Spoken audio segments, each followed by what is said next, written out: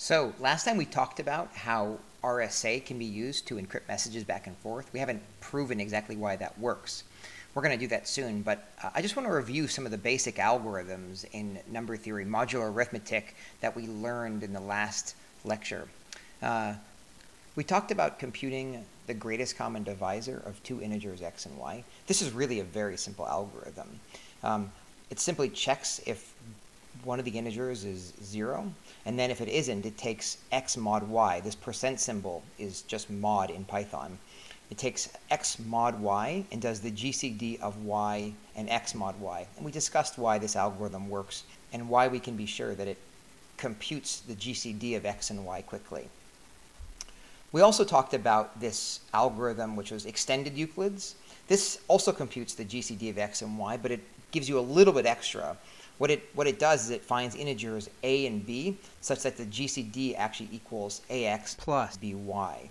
We didn't go into all the details for why this algorithm works, but if you want to see a proof of this, you can check the book. There's a nice little short proof for why this algorithm returns not only the GCD, but also returns integers a and b such that you get this nice integer combination to describe d. This is useful for computing the modular inverse, which we'll get to in a moment. We also learned about how to do modular exponentiation, where we have to take x to the y mod n, right? And there's another very simple algorithm for computing this. If first you check if one of the inputs is 0, other, then you just return 1, right? Because x to the 0 is always going to be 1. Um, then you compute um, x mod x of uh, x comma y over 2. This is the floor of y over 2 uh, and n, right? You compute this value, z, um, if y is even, you simply return z squared mod n. Um, and if uh, y is odd, well, you lost a factor of x, so you have to just multiply this factor of x over here um, times z squared mod n. Right? It's very simple. This is a very fast algorithm, and I think we argued that this takes on the order of n cubed uh, to compute x and y, where uh, this is n is the number of bits of x and y. Finally, computing the multiplicative inverse essentially just calls back to uh, uh, the GCD plus or extended Euclid algorithm. Once you can compute integers a, b such that ax plus bn equals 1, well then basically a mod n is going to be your multiplicative inverse of uh, the number x. So we basically already solved this problem. The word of the day is, Boone, say it. Boone, come on, say it. Say it. Say it. Oh, God. Ah. Okay, the word of the day is mouse. Mouse. Oh, stop it. Stop it. So now we're going to prove something which is a little bit technical, but it's incredibly useful and it's very relevant for this RSA cryptography. What we want to do is take a number n and consider all of the numbers x, which are between 1 and n, which are relatively prime to n. So what does relatively prime mean? It means that the greatest common divisor of x and n is 1. That just means that x and n don't have any factors in common. Okay, so let's consider this set. We'll call it R sub n. Rn will be the set of all integers from 1 up to n minus 1, for which the GCD of x and n is equal to 1. There's no common factors. Okay, so let's call phi of n the size of Rn. That just means it's the number of integers from 1 to n minus 1 that are relatively prime to n. Okay, let's consider that set. Here's a simple example. If n is equal to 3, then r sub n equals just the set 1 comma 2, right? And therefore, phi of n just equals 2. Okay, so what about n equals 15? Well, r sub n then equal, okay, 1 is relatively prime to 15, so is 2. 3 is not, because 15 is 3 times 5. 4 is relatively prime to 15. 5 is not relatively prime to 15, because it's 3 times 5. Um, 6 isn't either, because um, they both have a factor of 3. 7 is relatively prime to 15. Uh, 8 is relatively prime. 9 is not, because of the factor of 3. 10 isn't, because of the factor of 5. Uh, 11 is relatively prime to 15. 12 is not, because of 3. 13 is relatively prime to 15, um, and 14 is relatively prime to 15. So um, how do we get 1, 2, 3, 4, 5, 6, 7, 8? So phi of n equals 8. Okay, I want to consider an important special case here.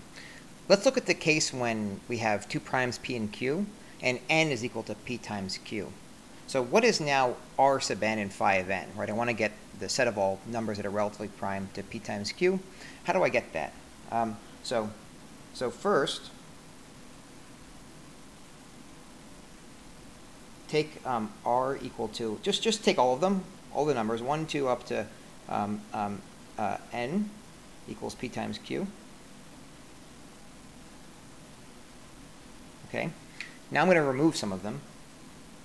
2, remove, I have to remove all the multiples of p. Remove p, 2p, 3p, all the way up to q times p, right? I also have to remove all the multiples of q. q, 2q, all the way up to qp. So I first started out with r equaling all the numbers from 1 up to p times q, but then I had to delete the multiples of p and the multiples of q. I deleted p multiples of q and q multiples of p, but then I double counted p times q. You'll notice that I removed these guys twice here, right? And so I don't want to double count that. So in the end, I have p times q, which is what I started with. I subtracted off p copies of q, and then I had to subtract off q copies of p, but I add, had to add back in 1, so I had to add 1 back in because I overcounted the things I deleted. In the end, if you work that out, that ends up equaling p minus 1 times q minus 1. So when n is p times q, where p and q are primes, phi of p times q is just p minus 1 times q minus 1. Cool. Oh yeah, and I forgot to mention one easy case. When n is prime, then phi of n is pretty easy to compute. Phi of n just equals n minus 1, right? Because all of the numbers from 1 to n minus 1 are relatively prime to n when n is a prime number. That's a very simple case. So this brings us to the key result that I want to get to in this segment of the lecture, which is known as Euler's theorem, and then there's a simple corollary called Fermat's Little theorem. This is really a beautiful theorem. It may not seem like it in, uh, at first glance, but it is the fundamental theorem that makes all of cryptography on the internet work. The basic statement of the theorem is that if you take any integer x which is uh, relatively prime to n, so you first have n, you take x which is relatively prime to n, uh, if you take x to the phi of n, you always get something which is congruent to 1 mod n. Um, and there's a, the special case of this is called Fermat's Little theorem. And Fermat's Little theorem says that if you take any prime p and any integer uh, x from 1 to p minus 1, and you take x to the p minus 1, that's always congruent to 1 modulo p. And it's easy to check why Fermat's Little theorem is just a special case of Euler's theorem. Let's try to prove Euler's theorem it's a little tricky and maybe one of the most technical things we'll do in this segment of the course.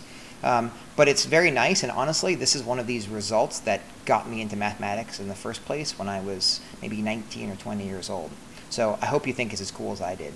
Okay, so I want to prove something to you mathematically, but first I actually want to show you that it's true just using some code. It's a very simple fact, but it's a little bit surprising that it's true. So here I'm going to use the number n as 15. We already went through this case previously. Um, Rn, which is all of the numbers that are relatively prime uh, to n, right? I'm just going to make a list of these things. Don't worry if you don't know Python. This is just taking the list and discarding the ones that where uh, the GCD of num and n are, uh, is not 1. And then I'm going to print it out, right? So these are the numbers that are relatively prime mod n, and there you have it. Those are the, the eight numbers that we came up with before. Now here's the thing I'm interested in. What about um, uh, if I take um, a equals, I don't know, some one of these numbers that's relatively prime to n. Let's say a is 2. Um, and now let's consider um, uh, taking a times rn. So I'm going to take all the numbers in rn and multiple, multiply them by a. So this is going to be um, uh, num a times num for num in rn, right? So I'm just going to take all of these things. Oh, I want to take this modulo n, so I have to do percent n, right? So um, I'm simply considering all of the, the numbers rn and multiplying all those numbers by this number a, which in this case is just 2, and then I'm going to print out a rn, right? Let's see what happens. Okay, notice that this list of numbers we get here, it's, uh, it doesn't look identical to this list, but actually it is the same set of numbers. You'll notice that I got the exact same set of numbers, just in a different order. It's a little bit surprising, right? I didn't get any new numbers. I didn't get the number um, 5 or 3, which aren't in this list, but I got all the other numbers that are relatively prime. Let's try this with another number. Let's not go with 2, let's go with 4, let's say. Right? And again, I got the same list of numbers just in a different order. So I took all of the numbers that are relatively prime to n, I multiplied them by some number a, which is also relatively prime to n, and I got, well, the same set of numbers, just in a different order. I permuted the set of numbers. This is going to hold true for all of these, uh, all of these quantities. Let's take 11, right? If I multiply everything by 11, again, I get the same list of numbers, just in a different order. That's an interesting fact, and we're going to show why that's true. So now I want to prove to you mathematically the thing I just showed you in Python in the previous bit. If you take any n bigger than 0, and then any element a in Rn, that's the numbers that are relatively prime to n, and now consider this other set, which is uh, you take Rn and you multiply every element in Rn by a, so it's going to be a times x mod n uh, for every x in Rn. Take that set, I'm going to call that Arn. This set ARN, it turns out, is identically just Rn. You haven't changed Rn at all, you've just moved the numbers around, um, but you've gotten the exact same set because sets don't care about the order. So let's prove this fact. This is actually a cute and nice little fact. Let's prove it. So let's just imagine a and x are elements of Rn. That means that they're relatively prime to n, so we can just say that the greatest common divisor of a and n is 1, and the greatest common divisor of x and n is also 1. But uh, if they're both relatively prime to n, then the product of a and x is also relatively prime to n, and uh, we can conclude further that um, if we take the product of a and x, take that mod n, that's also relatively prime to n. You can think about why this is true. It's not too hard to check this. But all you're doing by taking ax mod n is subtracting some copies of n. That doesn't affect whether you, the number is relatively prime or not. If you're relatively prime, um, if ax is relatively prime to n, then ax minus n is relatively prime to n, ax minus 2n is relatively prime to n, and so on. So this is true. From here, we can conclude that if we take a times x mod n, that's also an element of Rn. Why? Because it's between 0 and n minus 1, and also it's relatively prime to n. Therefore, it's an element of Rn. Okay, good. That's step one. So here's another important fact we're going to need. Take three numbers from Rn, a, x, and y, and assume that x is not equal to y. Then it certainly is the case that ax is not congruent to ay mod n. So why is that true? Well, here's a little proof, and this proof relies very heavily on the fact that we can take A inverse. So the fact that A is relatively prime to n, GCD of A and n, is 1. That means that we can compute a multiplicative inverse of A, we'll call that A inverse, and then we can multiply both sides of the equation by A inverse. So if it were the case that AX were congruent to AY modulo n, then I can multiply both sides by A inverse and get A inverse times AX is congruent to A inverse times AY mod n, but of course, I can just cancel these terms A inverse times A, A inverse times A, right? Because that's just 1. And I end up getting that x is congruent to y mod n. That can't be the case since we decided that x is not equal to y. Therefore, we can conclude, using this proof by contradiction, that ax is not congruent to ay mod n. Okay, so if you think about what we just proved in 1 and 2, we showed that multiplying by a, some a in Rn, take an x, multiply by a and Rn, it stays in Rn after you multiply it by a. Similarly, if you take two distinct elements, x and y in Rn, multiply them both by a, they're still distinct. What that means is multiplication by a just permutes the elements of Rn, but it doesn't introduce any new elements or it doesn't send two elements to the same element. That means that multiplication by a is just a permutation, and therefore ARN is just Rn. You haven't changed this set at all. Um, and that's a very useful fact, and we'll see why that is. So now we're getting to what I think is the most beautiful part of this proof, which is you have to consider a very interesting number. Let's take all of the elements in Rn, right? These are all the numbers that are relatively prime to n from 1 to n, and let's just multiply them together. We're multiplying all these numbers together, we're going to get k. Let's think about k.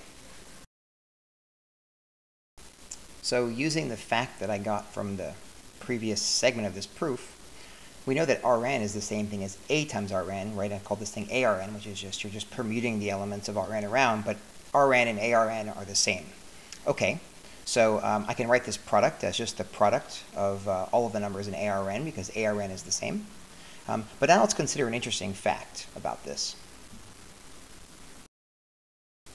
So here I'm just writing it a different way. I'm taking every x and ARN, but I could also just say take every x and Rn, multiply it by A, and take that mod n. I'm just writing this in a different way. Cool. Okay, now what I've done is I've um, taken the mod n out to the outside and just written this as congruent to something mod n. Right, I can either do the mod n in the product or do the mod n in the outside. It doesn't really matter. Um, also, I factored out every copy of A. How many copies of A are there? Well, there's one for every element of Rn, so I can factor out size of Rn many copies of A. You'll notice that because we got the product of all of the x's for every x in Rn, we can factor that out as k. We define k to be that product initially. Um, and we have this factor of a to the phi of n. So this is pretty cool. You'll notice that we have k on the left-hand side, k on the right-hand side, but we also have this quantity a to the phi of n. Interestingly enough, we can actually invert k and remove it from this expression. So to finish this proof, you'll notice that the product of all of the x's for every x in Rn, that has uh, that the GCD of k and n is going to be 1. If you take the product of a number of numbers that are all relatively prime to n, that product is also relatively prime to n. Therefore, we can take the inverse of k modulo n. So just take a inverse mod n, multiply that on both sides of this expression right here, and you'll end up getting that 1 is congruent to a to the phi of n mod n. And then the proof is done. So I know this has been a relatively technical lecture so far. There are lots of details and proofs to understand why some of these results are true. But I just want to make sure that even if you didn't understand everything, you get the five key takeaways that we need for developing RSA encryption. There's basically only five facts from number theory, modular arithmetic that we need to we need to have here to do RSA. The first, just keep in mind that R sub n is the set of all numbers from 1 to n that are relatively prime to n. Phi of n is just the size of that set. It's the number of uh, x's that are relatively prime to n between 1 and n. We need to understand what phi is for a couple of cases. When p and q are prime, phi of p is equal to p minus 1, right? The number of uh, integers that are relatively prime to p, that from 1 to p, is p minus 1. When uh, you take p times q, phi of p times q is p minus 1 times q minus 1. Euler's theorem is perhaps the most important and the hardest thing we learned. Um, for any uh, x that's relatively prime to n, if you take x to the phi of n modulo n, that's just 1. You're going to get 1 if you take x to the phi of n. Fermat's little theorem, which is just a special case of that, um, if you have a prime p um, and x is not divisible by p, then x to the p minus 1 is congruent to 1 modulo p. Okay, so now let's move to actually how RSA works and why we can use these facts to help develop an encryption system.